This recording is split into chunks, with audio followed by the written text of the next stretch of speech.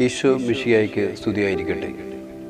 നമ്മുടെ പാലപ്പൂര് ഇടവക നൂറിന്റെ നിറവിൽ ശതാബ്ദി ജൂബിലി ആഘോഷങ്ങൾക്ക് ഒരുങ്ങിക്കൊണ്ടിരിക്കുന്ന രണ്ടായിരത്തി ഇരുപത്തി മൂന്ന് ഇരുപത്തിനാല് വർഷത്തിൽ വിശുദ്ധ കുരിശിനെയും വിശുദ്ധരെയും കുറിച്ചുള്ള നൂറു നുറുങ്ങു ചിന്തകളും രഹസ്യങ്ങൾ ഉൾക്കൊള്ളുന്ന വീഡിയോ ഇടവകയിൽ നൂറ് പേർ ചേർന്ന് നിങ്ങളുമായി പങ്കുവയ്ക്കുന്നു.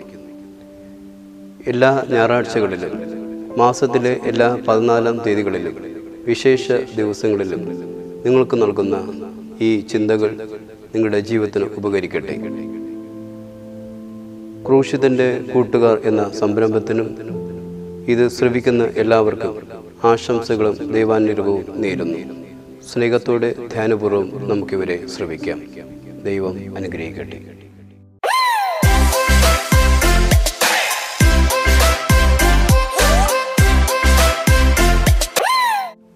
ഈശോ മിശാക്ക് സ്തുതിയായിരിക്കട്ടെ. നവംബർ രണ്ട് സകല മരിച്ച വിശ്വാസികളുടെയും ഓർമ്മദിനം. എല്ലാ മതക്കാരും മരിച്ചവർക്ക് വേണ്ടി പ്രാർത്ഥിക്കുന്നുണ്ട്. പ്രാർത്ഥന ഏതെങ്കിലും വിധത്തിൽ അവർക്ക് ഉപകാരപ്പെടും എന്ന ബോധ്യമുള്ളതുകൊണ്ടാണ് പ്രാർത്ഥിക്കുന്നത്. സ്വർഗവാസികൾക്ക് പ്രാർത്ഥനയുടെ ആവശ്യമില്ല. നരകവാസികൾക്ക് പ്രാർത്ഥന പ്രയോജനപ്പെടുകയുമില്ല. മറിച്ച് ശുദ്ധീകരണ സ്ഥലത്തായിരിക്കുന്ന ആത്മാക്കൾക്കാണ് ഈ പ്രാർത്ഥന പ്രയോജനപ്പെടുന്നത്. മരിച്ചവർക്കായുള്ള കുർബാന അഞ്ചാം നൂറ്റാണ്ട് മുതലാണ് കണ്ടു തുടങ്ങിയത്.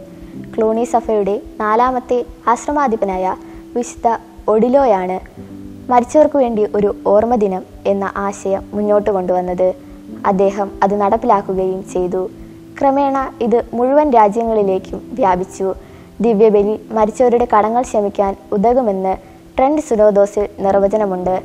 ശുദ്ധീകരണ സ്ഥലത്തുള്ള ആത്മാക്കൾക്ക് ദണ്ഡവിമോചനം ഈ ദിവസം അനുവദനീയമാണ്. വിശ്വാസികൾക്ക് ഈ ദിവസം സെമിത്തേരിയിൽ പോയി പൂർവികരുടെ ദണ്ഡവിമോചനത്തിനായി പ്രാർത്ഥിക്കാവുന്നതാണ്.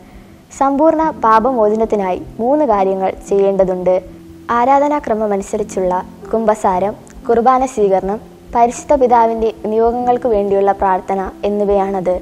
സെമിത്തേരി സന്ദർശനത്തിന് മുൻപോ പിൻപോ പല ദിവസങ്ങളിലായി മേൽപ്പറഞ്ഞ കാര്യങ്ങൾ ചെയ്യാവുന്നതാണ്. ശുദ്ധീകരണ സ്ഥലത്തിലെ ആത്മാക്കളെ നമ്മുടെ ജപങ്ങളാലും പ്രാർത്ഥനകളാലും ദാനധർമ്മങ്ങളാലും മോചിപ്പിച്ച് സ്വർഗീയ സൗഭാഗ്യത്തിന് അർഹരാക്കാൻ നമുക്ക് പ്രയത്നിക്കാം. ആമി